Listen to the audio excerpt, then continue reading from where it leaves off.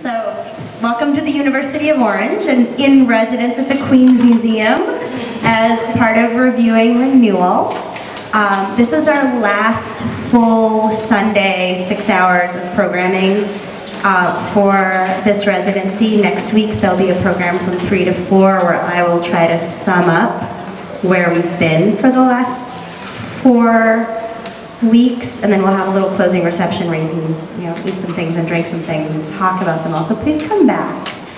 Um, but as this is our last moment like this, I thought I'd take a risk um, and ask the person who I just noticed in the audience who's been here for the whole day, which is pretty awesome, uh, to do this last introduction because I know it won't scare any of you off because you don't have the opportunity, again, to do what David's done, which is show up at noon and experience an entire day of, of reviewing renewal programs. So he's going to give you a little bit of uh, summary of where he's been today. Good afternoon. Um, let's see, what have I seen so far? So, the, the, the, beginning of the day started out with a movie called The Rink, uh, which dealt with essentially a roller skating rink located in Newark, New Jersey. Um, part of the reason that I wanted to attend that is because I'm originally from New Jersey. I actually grew up in a town next to Newark.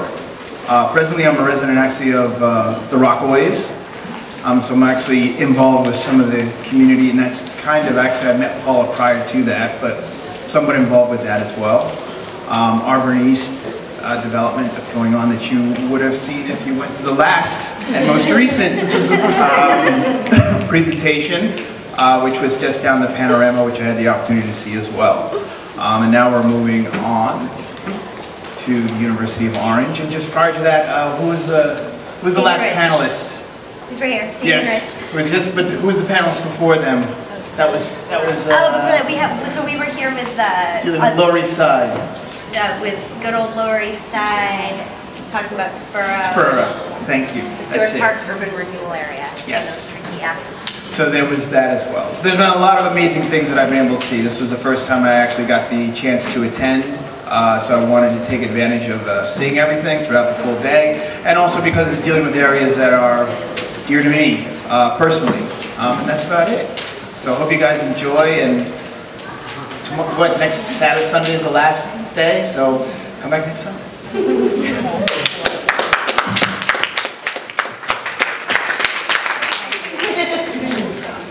Hi, everyone. Let me know like this if I need to speak louder. I'm not well acquainted with microphones. Point it right at my mouth. Okay, great. Um, so welcome. I want to introduce our panel really quickly. We have Rod Wallace. Um, you'll hear more about each of our panelists as we go through. Um, we have Havanna Fisher, Molly Thompson Fullilove, Mindy Thompson Fullilove, classic mistake. and Molly Kaufman, who is my fellow moderator and the provost of the University of Orange. I'm Aubrey Murdock, and I'm the academic dean of the University of Orange. Um, and uh, in wanting to introduce why we wanted to situate renewal within sort of the lineage that includes redlining and gentrification, I want to start by introducing the University of Orange. So we're a free people's university based out of Orange, New Jersey, also close to Newark. Um, and as a free school, we do things like offer courses taught by volunteers, including like harmonica class and beer making, but we also offer urbanism programs. Um, and our urbanism work is based on the premise that American cities have been, as Mindy writes, sorted out. Um, and so this means that we understand that policies such as redlining, segregation, urban renewal have created lasting fractures in our cities and have deeply affected the social structure and the everyday lives of communities, and particularly communities of color.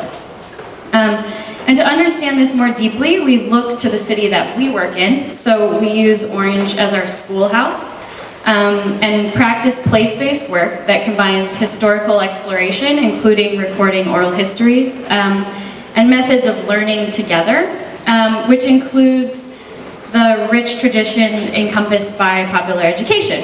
Which brings me to this January. Every January at University of Orange we have a Jan term, and actually in the back, she was just here, Michelle was at the very first Jan term, so that's really cool. I don't know Michelle, anyway, okay. Um, um, So anyways, every, every Jan term we have a session that includes a seminar, a volunteer opportunity, and a field trip. And we believe that this combination of learning, doing, and engaging really embodies what we think that an urbanism practice should involve. Um, and so this January, our theme was popular education and the just city. Um, and that featured a seminar led by our colleague and very wonderful friend, Robert Sember, um, and a trip to the National Archives to scan redlining maps and area descriptions, including this map here of Queens, where we are at now.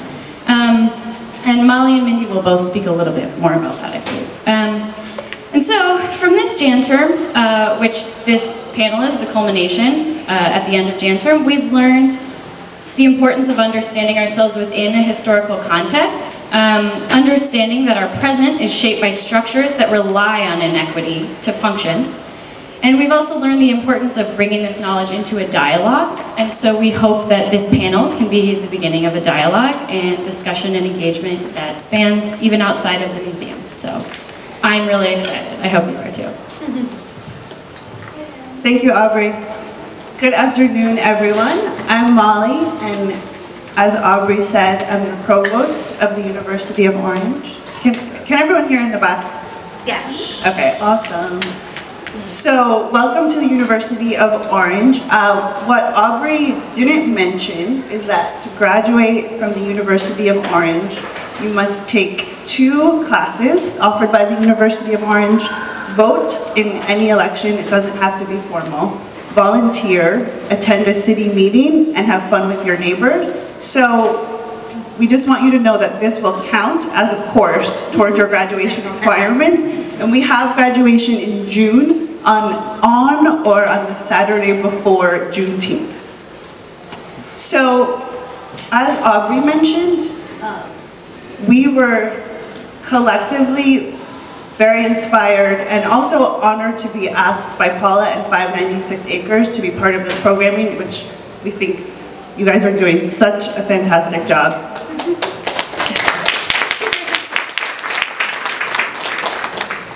And we were really inspired uh, and grateful to have the opportunity to share with you all the way that we understand urban renewal and top-down planning projects in a continuum of projects and policies that have systematically undermined communities.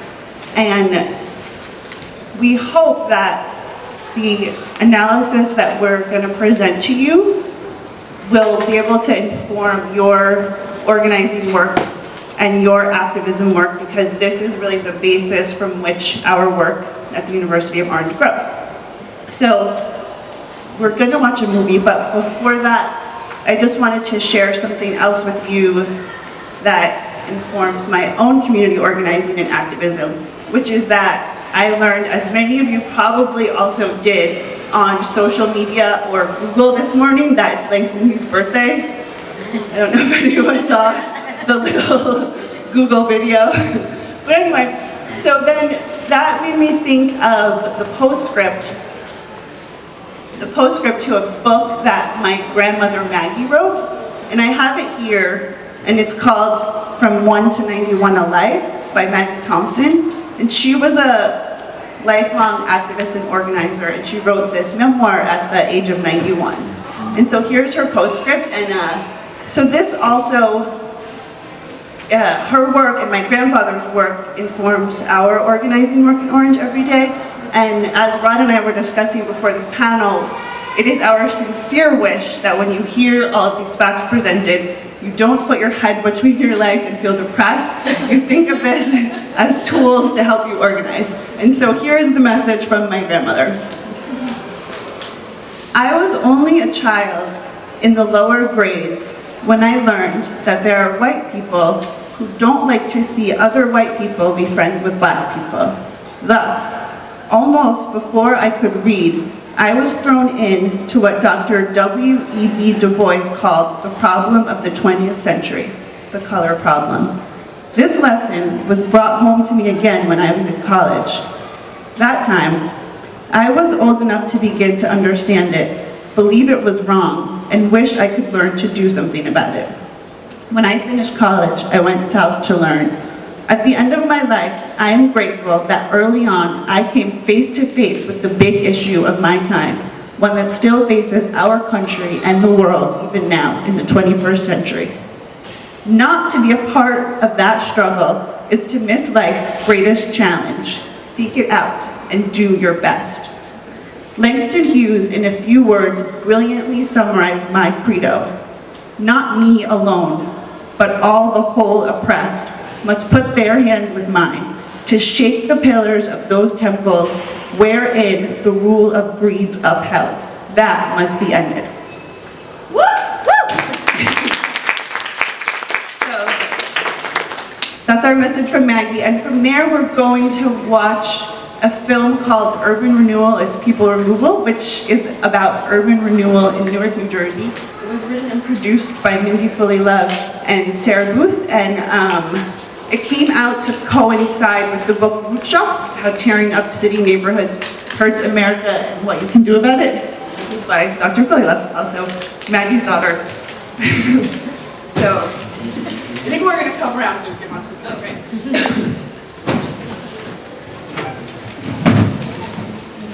Does someone need to hit play? Dr. Mindy Thompson Fullilove. His name I said correctly this time. It's always been my fear as long as I've known both of you that I would accept the name. So I'm super glad it happened in front of all 125 of us. Um, and it was my great pleasure to meet Mindy. She was my advisor for my thesis um, in the Design and Urban Ecologies program at Parsons. And I think really gave our program a lot of substance. Um, and then invited me to come work at University of Orange, which was one of the best things ever. So thank you.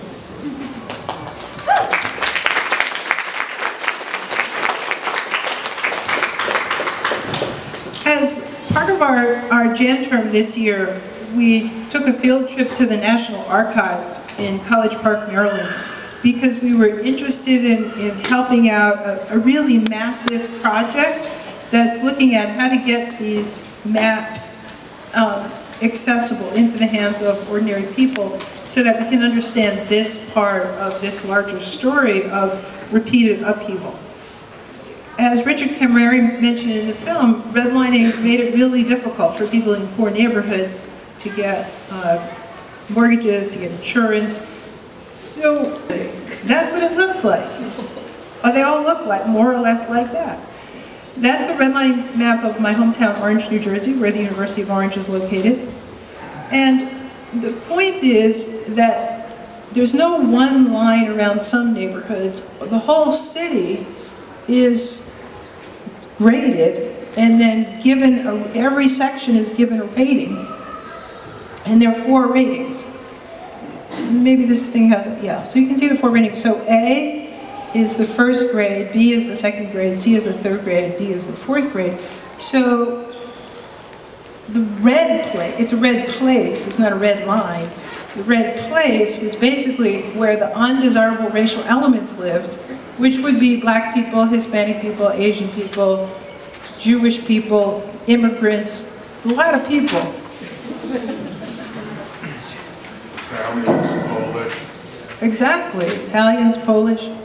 So the, the green, that's for the white people who had new houses. So if you were, and then if you were like not as wealthy, you had a slightly smaller house, you got blue. Um, but if you were black, you got red. This is like, so in orange, this was the black ghetto, and then this was where the Italians lived. So it was yellow, like a up. But you see how it's, it's not it's not a line at all. So so the thing is that the unanswered question is, well, what did this do to the United States of America? So they went out in the 1930s. The idea was that the banks were in trouble, and they wanted to tell the banks where to invest their money so that they would be protected, investments would be protected. And the real message was don't put it here, because that's, I don't know, undesirable racial elements. You don't want to put your money where there are undesirable racial elements. You want to put your money over here. And so part of this opening up the suburbs, suburban development, is that look at the amount of surface area in Orange, New Jersey that's not appropriate for development. It's almost the whole city. And when you look at these maps, you see time after time after time that most of the land in the whole city, whatever city you're looking at, is red or yellow, not green or blue. Green or blue is out in the suburban areas. So this huge pressure that where you wanted to put your money, what was going to be grade A investment, was not in the cities. Now, there are 200 or so of these maps, and they have not been digitized, which is a reasonably trivial project in this day and age. I mean, Google is digitizing like the whole world, every book that was ever written. Uh, but these maps have not, and the supporting documents have yet to be digitized. So Richard Marciano and colleagues at a number of universities are beginning a project to get this work done, and our field trip was to be part of that effort.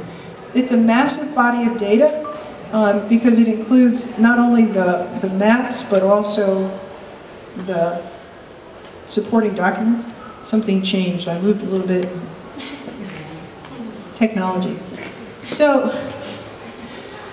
they, they did analysis, some analysis of this data, and this is Orange, New Jersey. And it says, this is a very old city of restricted area and practically complete development. A large portion of its population is foreign-born and Negro, and part of its area can properly be classed as slum.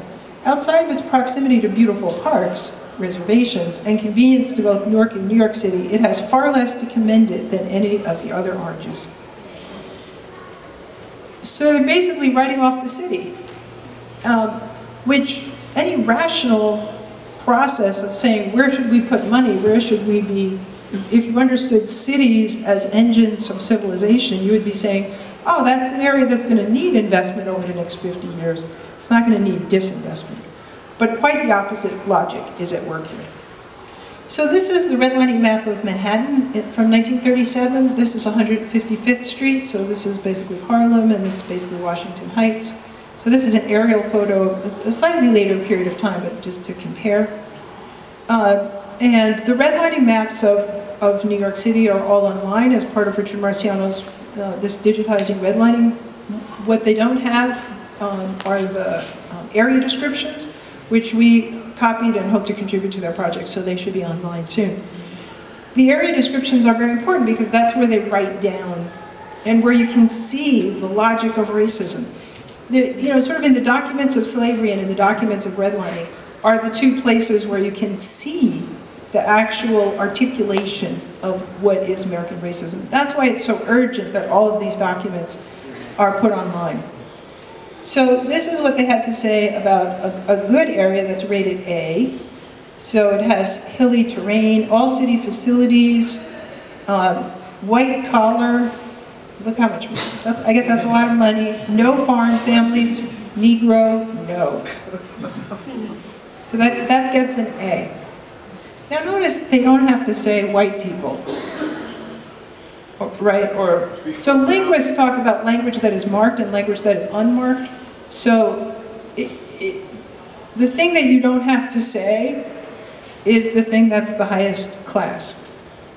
So the thing you have to say, like like if you just say people, that means good white people. Mostly if like if black people or Hispanic people say people, they mean black people or Hispanic people. Asian people same way. So if they want to say, if a, like me, if I'm saying people, I'm meaning black people. If I want to say white people, I would say white people. It's just true. this is science. So they, there are, these are people, right?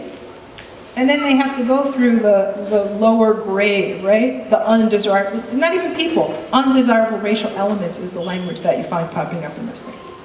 But look at this. Favorable influences, detrimental influences. So this one was, uh, got a slightly, wait, this one got a slightly lower rating. So all city facilities facing Highbridge Park, substantial age. Now look, this is a detrimental influence. Infiltration of less desirable inhabitants. I mean, the language is utterly brutal. But this is the language we have to understand, is this is the language and this is the thinking that drove the money that shaped the city, and still does. Notice, foreign-born families nominal, Negro few. So this gets a B. This is the next one. All city facilities, good transportation, detrimental influences, age and obsolescence. Um, trend of desirability down. And then this one has labor mix and Negro, yes, 90%. That's obviously a D. So that's a description of Harlem. But this, too, is a description of Harlem. This is a photograph by Sid Grossman, which was taken in the, exactly the same time period. Um, he was a member of a New York Photography Club, and some of you may have seen the amazing exhibit a couple years ago at the Jewish Museum called Radical Camera. Um, so he was a, a pillar of that photography group. And they loved to go around the neighborhoods and take pictures of what was going on. And what you can see in the photographs is life. Like people were poor, but they had life together. They had a way of living that was affirming, that was developing, that was community. But that is rated by the United States government as just undesirable racial elements and going downhill. So this is the struggle. This is the struggle to affirm that this is what we want to be looking for when and describing when we are rating neighborhoods. And we want cities that go into neighborhoods that are full of life and that ask the question, how can we help? We know you're planning to stay. How can we help? What do you need? This is really what we're trying to get at. We have to turn the whole system on its head. So this is Harlem in 1990 as a result of all the policies, and Rod's going to talk some more about the policies that resulted, that took us from here to here. Won't go. Doesn't even want to go there.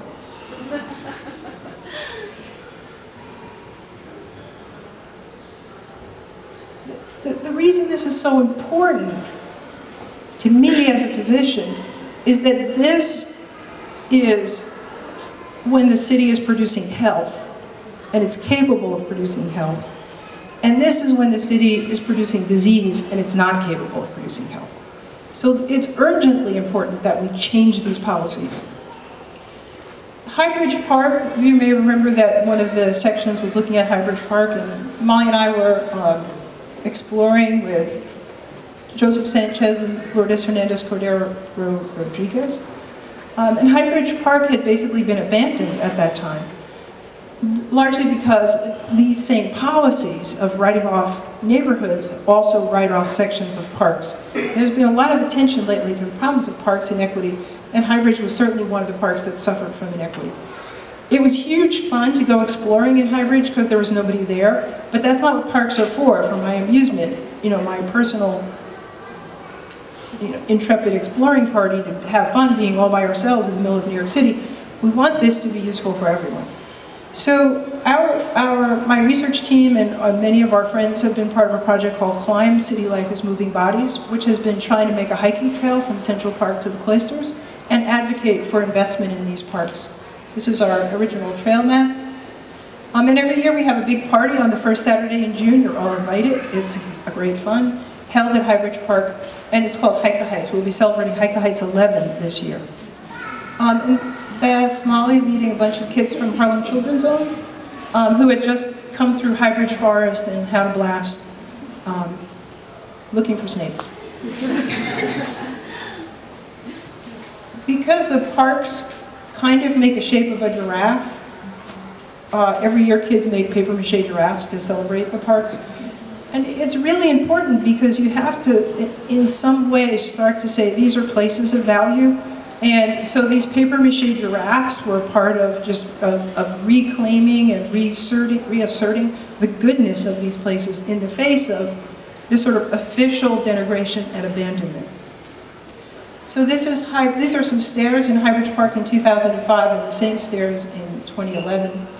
And um, as Rod likes to say, our big challenge now is gentrification. And the question that's hovering over us is, who will walk these stairs in years to come? Um, as we were, uh, we had some planners helping us think about our trail and our path, and we made this beautiful one there. So anyway, we wanted to put it on the map, so we did, made a beautiful map. And that was our symbol for Hike Heights 10, and this is just a, a rock with love on it that is in Highbridge Park. This, it is about love in these places that have been officially written off. It was wrong to write them off because they didn't see the love, and there is still love there despite all the difficulties, and they're still trying to drive the people out and drive the love out, and this will kill us all. So um, I think we warned you that this might be depressing, but it's going to get worse before it gets better. Turn it over to you, Rod.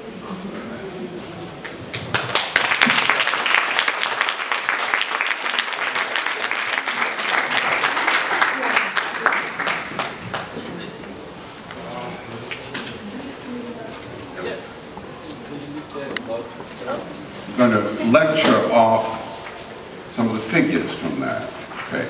Uh, For the record, uh, my name is Robert Wallace. I'm a research scientist in the Division of Epidemiology at the New York State Psychiatric Institute.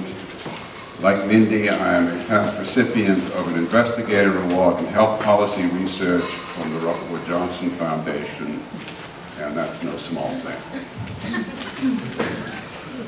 What you have seen in the film is a case history of the serial forced displacement minority populations in Newark.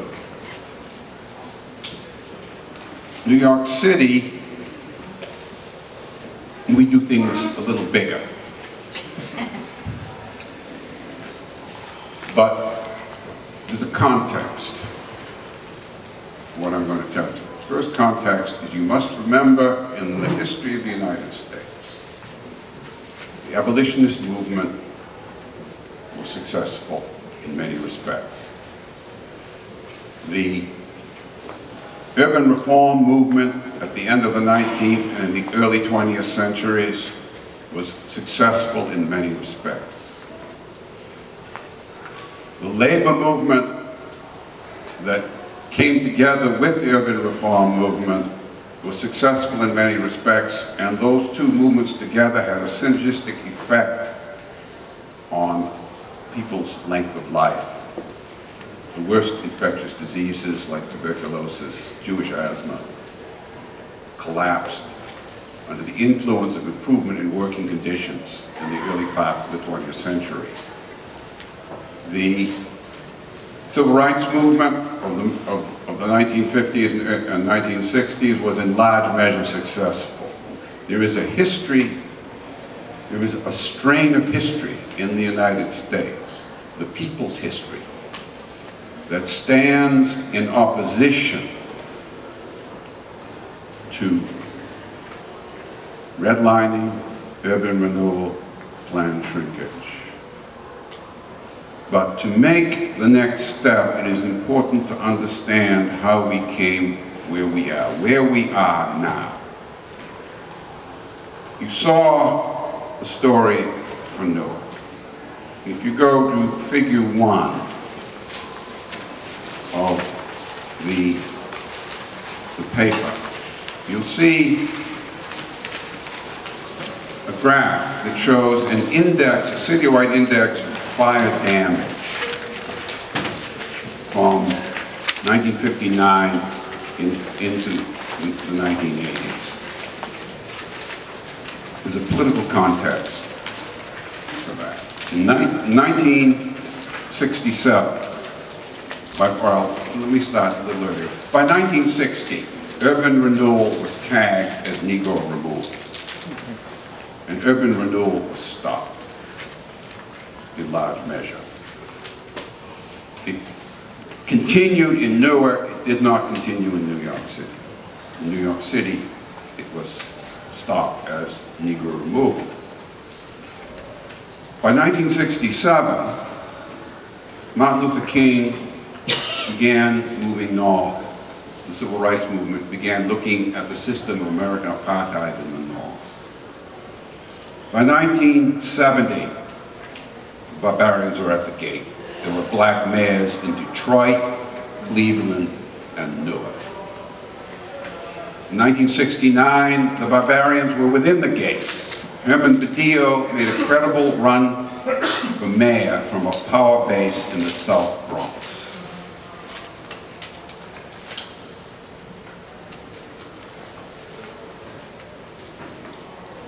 By 1970, two strains had come together among the white power, within the white power structure in New York City. The advocates of urban renewal and those who were afraid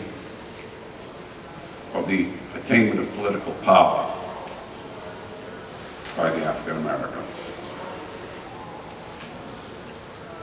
In 1970, Deputy Chief Charles Kirby, Fire Department, made detailed predictions of a forthcoming firestorm in Herman Badillo's power base in the Bronx. I could read you a chilling paragraph, but it's—I'm I'm not going to do that. The, the point is that by 1970, the fire department knew there was going to be a firestorm in the South Bronx. If you look at the graph, figure one, you'll see there's a spike between 1967 and 1968 in a fire damage index. That's a sum total of size and number of structural fires in New York City using a uh, statistical technique. Notice it levels off between 1968 and 1972 because the fire service unions sued the city to open 14 fire companies as second sections in existing firehouses. So you had fire engine whatever and then fire, fire engine dash two in the high fire incidents of the sections of the Bronx, Harlem, Lower East Side. Those fire companies by number were named in the Kirby report as essential to holding the line in the Bronx. In 1973, uh, Deputy Chief Charles Johnap did a Kirby report for the Bushwick section of New York. Fire companies named in those reports were closed. In 1972, 1974, and 1975, before the New York City fiscal crisis. And you can see a sudden spike in the fire damage index. You follow. If you go to figures, figure two, what you see is what happened to Herman Badillo's voting bloc between 1970 and 1980. As a consequence of the fire service cuts, a process of contagious urban decay broke out in South Bronx, in central Harlem, across Bushwick, Brownsville, East New York, and in the parts of the Lower East Side, parts of Queens, the black neighborhoods. Fire companies had been established in the early part of the 20th century in those neighborhoods because there was high fire hazard. These were densely populated neighborhoods. When minorities moved in and became active politically, those fire companies were pulled out. If you look at figure two, you see that some sections of the South Bronx lost as much as 81% of the housing stock between 1970 and 1980. Figure three shows the migration of welfare population within New York City. Areas that were designated high welfare zones in 1967 and those that were became high welfare by 1977. What you see is the burnout of Bushwick Brownsville, East New York, drove people into Flatbush. The Jewish neighborhoods in Flatbush collapsed. And people moved out to the suburbs. The West Bronx, a Jewish neighborhood, collapsed under the, the pressure of forced migration. Figure four shows school transfers, 1974, 1975. What you see is the forced migration of school children in the Bronx. That generation of school children from the burning neighborhoods faced such disruption, they did not learn to read.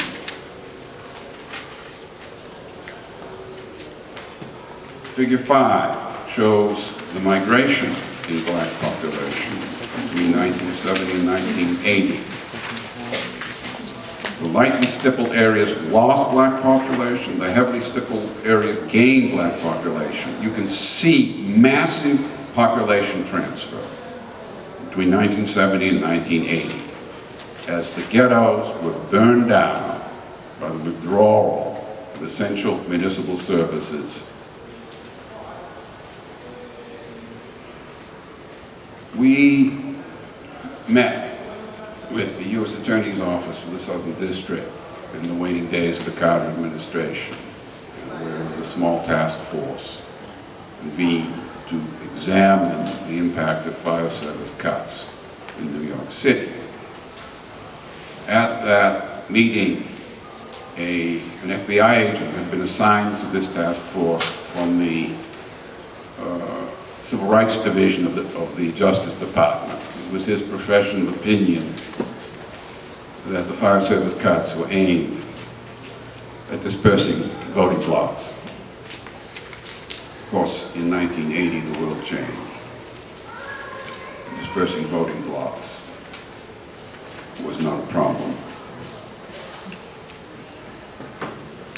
In the South Bronx, the police called it the self-cleaning oven.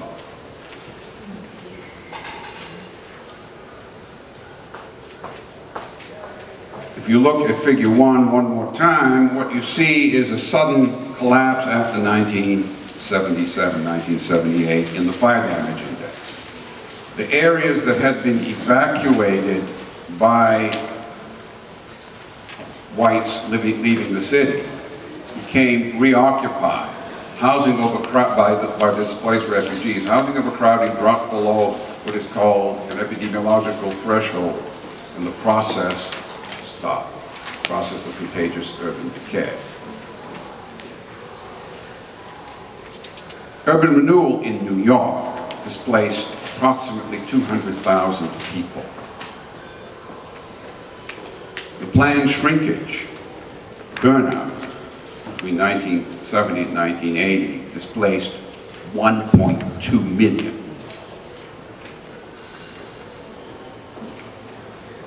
City, in many respects, has never recovered. All right, two statistics.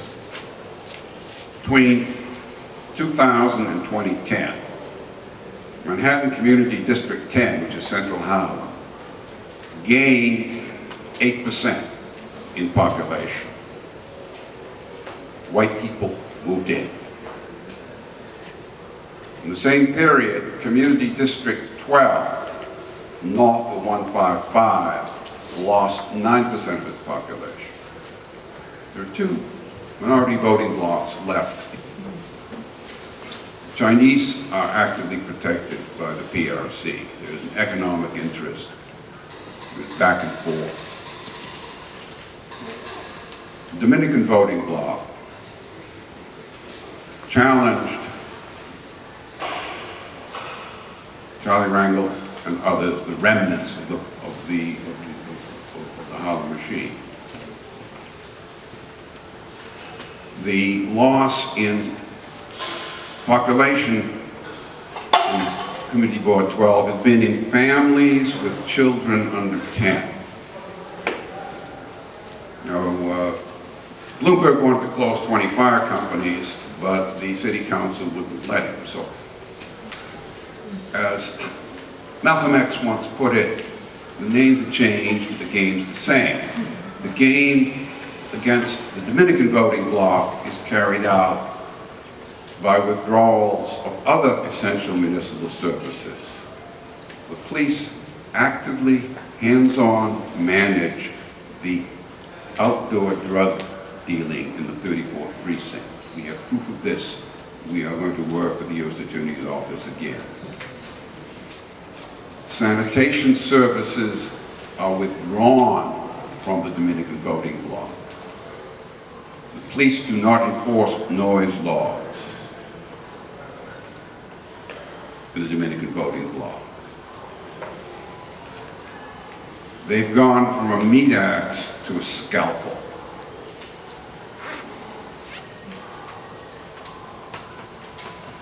But the game's the same.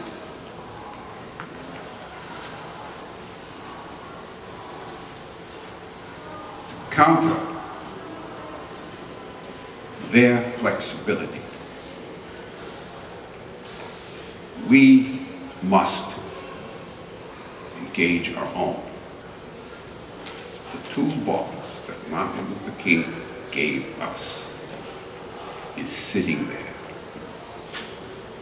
It is incumbent upon us to pick up and use those tools.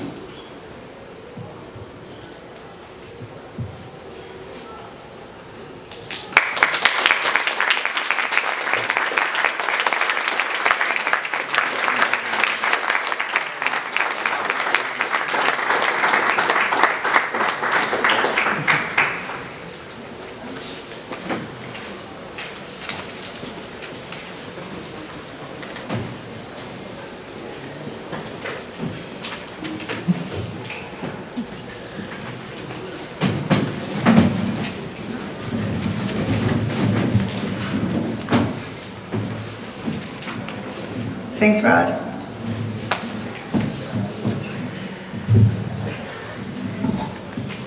So I have known Rod for many years because my mother Mindy has um, often referred to him as her guru. And she and I discussed today that that then makes him all of our guru, so Guru Rod. Um, so now I am absolutely delighted to introduce our next speaker, who is Havanna Fisher. I first met Havanna when she was 15 years old, and she was a high school student, born and raised in Harlem, and we worked together to make a documentary about the parks that Mindy showed us in the Climb Trail. And now she is a recent graduate of Parsons. She studied fashion design, and I have the real pleasure of being able to collaborate with her on a second film. And uh, she's gonna talk, share with us about her lived experience of observing changes in her neighborhood of Harlem.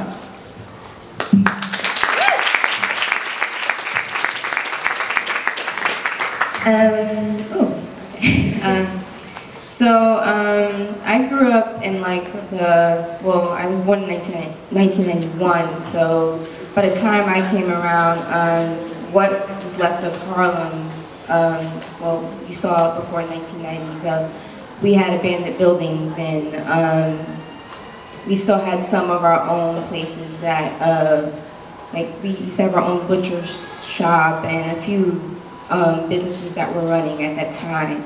Um, and well, my mom was an activist in the community, and so uh, we grew up, well, I grew up seeing seeds of hope in Harlem. Um, we thought that um, some of these buildings could easily be turned into new opportunities for the people that live there.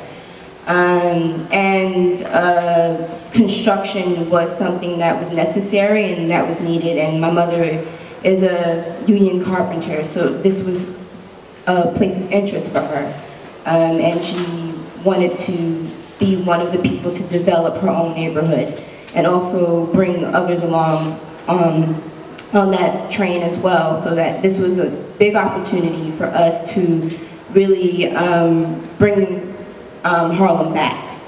Um, but um, with a lot of developers coming in that were, I, I mean, well, we call them foreign because they they didn't grow up in Harlem. They didn't know anything about Harlem, but Harlem was a, it was like a land grab. So you had a lot of foreign developers coming in, and they had their own plans. And quickly, um, I remember my mom fighting, um, saying that this is going to become one of the worst things ever. And And this was the beginning of gentrification as like um, we know it now, but um, then we didn't know how bad it was going to turn out. Um, so some people, we did want change in our community because we had a lot of rundown buildings. Um, some schools were falling apart, um, but we wanted it to be um, revitalized for the community's benefit. Um, so there was a lot of pull and a lot of tug um, for some of the resources in that community. Um, and that's exactly what happened. Um, and so we were really kind of being ping pong between a state that is obviously racist and kind of like police department that is obviously working along with the state, but the people were being ping pong. So there wasn't really a place for us to go or to stand on our own. Um, so um, with that, um, tons of things, like tons of changes have happened now and gentrification has happened. Um, it's not, it's no longer about how to prevent gentrification to ha from happening, it's happened. And it's a, um, it's a reality that's hurtful, but it's a reality that we have to deal with. So moving forward, what can we do now to make sure that gentrification no longer displaces, displaces the people that live there? Um, one of the things that my mother and I talk about is, well, when you do something, you have to be held accountable for it. So moving forward, how do we hold um, our, our city accountable for what they've done? Um, and um, I guess that's the question that moving forward that we're going to have to deal with, um, as well as trying to um, save the people that are still living there. And I also want to like put out there that at the rate of people going to prison, um, a lot of young, a lot of mothers were losing, being evicted from their homes. So this is really like a a, I would say, a stable attack on a community. Um, and what happens when you attack a community, or what I see as gentrification, is you're attacking the root of a, a, a strong movement that could happen. Um, as we saw, I haven't seen the movie Selma yet, but um, what I've learned um, without the movie is that it was a strong grassroots organization that was happening. And it was with people and communities coming together. Um, but with gentrification, what makes gentrification so lethal is that it attacks that base and it, it really disrupts it. So people really, they, they're um, separated from one another. Um, so that support system, in order to come together, is literally being broken down. So gentrification is one tool to make sure that people can't mobilize. Um, it's, it's almost, it makes it very impossible. I mean, if you have a living condition that is not okay, um, that's where you come home to, that's where you um, regroup. Um, so if that's being torn apart, you're literally being uprooted from the ground. Um, and not to say that, you know, you go to work, and of course people go to work, and like my mom, she was a union carpenter, so she was battling that being one of the only female black um, um, carpenters in the union, they were very, very evil towards her. So she was fighting on two fronts. But that much terrible of a job that you have to do as an individual to fight.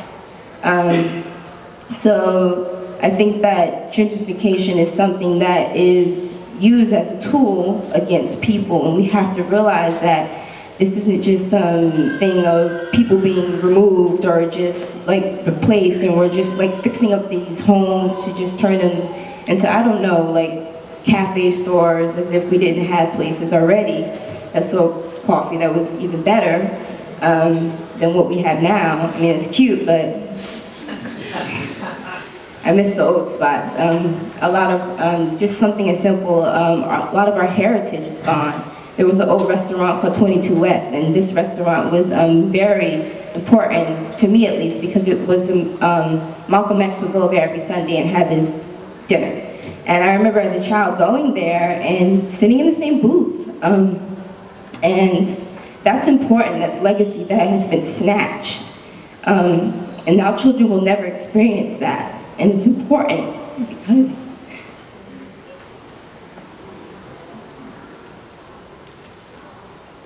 it's important because you automatically have a direct lineage to something that is so strong and it gives you hope. And like I said, a lot of these buildings, they were broken down, but we imagined that they would become something for us. And they, they became something that we would never even be able to, to even look at. Some, some um, homes that um, got renovated, I knew people that lived there, and um, they had to leave New York City because they couldn't afford to stay here at all. Um, so they never even got a chance to see it be reformed. To, and maybe that's a blessing in disguise because I think that it would hurt that much more to see your home reformed into something that you could never obtain. And so it's very violent, um, and it is just definitely like just a removal of not just you as a people, but you as a human being, your humanity. And everything is up for sale. Um, so, um, if I could just leave you guys with something, it, is to think of gentrification as like a violent attack. Um, you know, I know the South had Jim Crow, but you know the North had a whole lot of things like urban renewal and gentrification. Um, and this is our Jim Crow um, because it definitely separates people and then disperses them to wherever. I mean, most of the people I knew that had to leave, they had to pick, pick up whatever finances they could find to leave. They weren't even replaced or placed somewhere else. They were literally just kicked out. And some people and became homeless, families. I want to say families because these just aren't just people, these are families with children, mothers with children um, that got displaced. And, and, those are the ones that were, um, I guess, they were um, more vulnerable, but those were the ones that took the hit, was um, mothers, single mothers and children. These are people that we're discussing here in terms of being removed. So you had a lot of men being thrown in prison, but then people that were being kicked out were children um, and their mothers. Um, and these are, I think, in my opinion, the most vulnerable people in our society that we seem to treat the worst. So.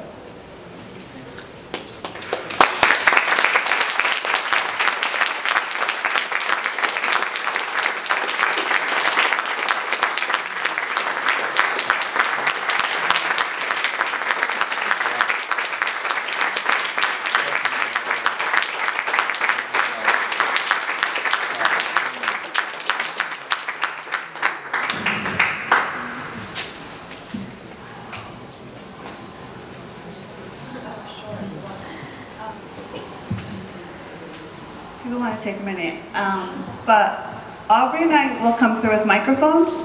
So if people have questions or just want to share.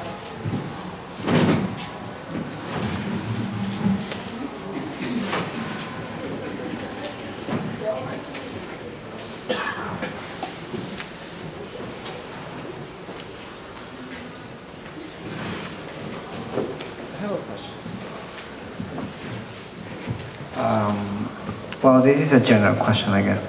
I mean, it's something that I, um, I probably ask myself and other people that we're trying to address address this issue here in Jackson Heights and Corona. But um, I just don't know. Um, and maybe in other neighborhoods as well. There's another groups like this um, trying to um, asking this this question, um, and it will be, um, what are the alternatives? Um, for this uh, gentrification. I know the city um, implements like um, business improvement districts, but um, I don't think that's like the, um, the solution for a neighborhood. So I don't know, that's just a general question and something to think about.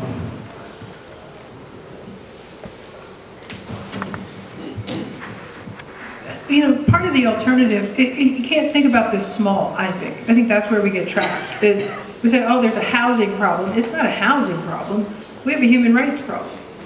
And if we start to think about it as a human rights problem, we're going to have a, a big enough conversation. And I, I really deeply agree with Rod that um, it's, uh, you know, it, it's just really essential to think about the, the larger strategies and tactics of nonviolence. And because nonviolence can, can, we have to bring it to a halt, what's going on. And we, we can use nonviolence to do that.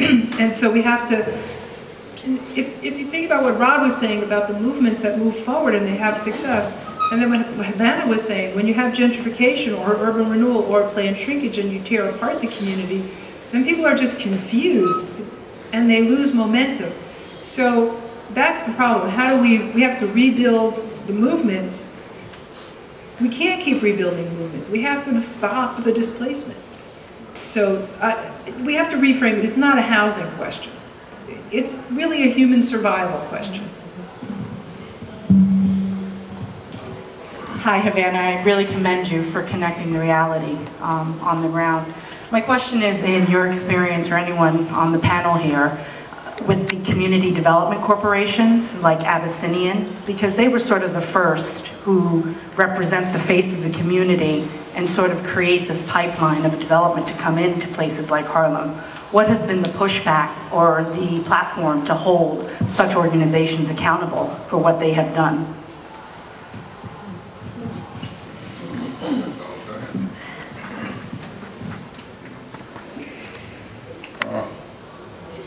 When the Germans would move in World War II, when the Germans would move into a city, in Eastern Europe, they'd surround the ghetto.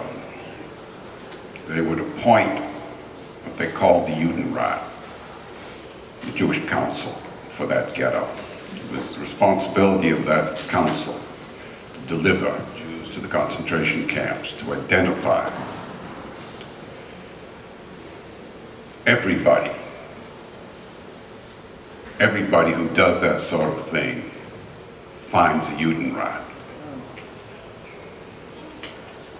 It didn't just happen, it doesn't just happen in Eastern Europe.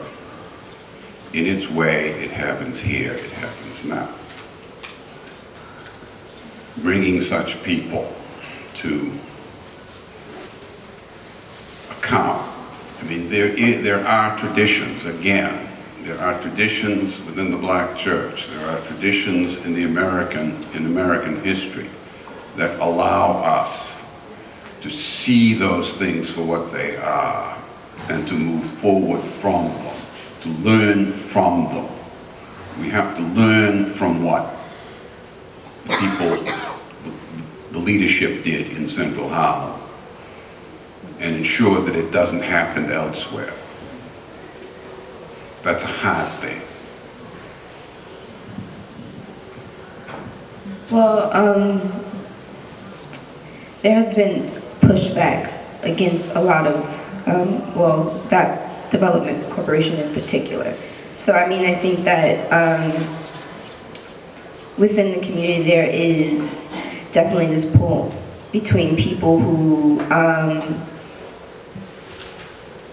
know that, the, or feel that these, we know who our friends are and who are not our friends. And I think that um, Harlem, people of Harlem are definitely learning that. Like, if you talk to any Harlem residents, you know, or like not any, because some people still go along, but you will get some really harsh things said.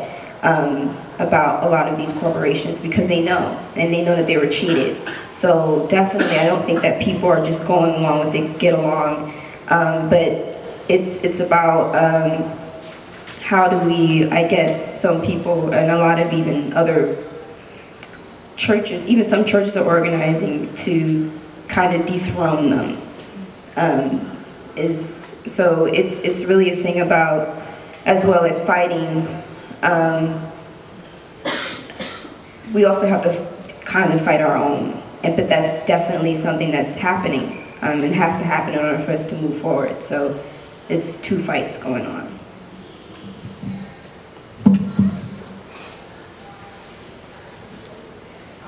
Hi, my name is Denise. Um, my question is directed towards anyone.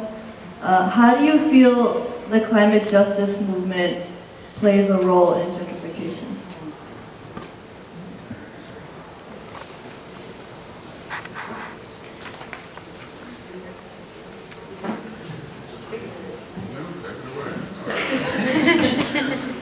There, of course, is a spectrum of issues. But within the United States, if you go back to the bones of the nation, it's written in the Constitution that a slave is to be counted as three-fifths of a man. It's deep. And in many ways, that history colors a great deal of our politics. And I think one has to view that strain in, in America as a separate thing. And it has to be put on the table. It is so fundamental to the functioning of the country that I think every group that considers itself progressive has to put that on its table, on its agenda. And for many uh, progressive groups, that's a hard thing to do because the, you just don't see. Your, your blind spot is, just so big. When you do what should be a progressive thing, you don't see these other things. There are uh, the people who will suffer most from environmental degradation and climate change, uh, the people who have been suffering the most for 250 years.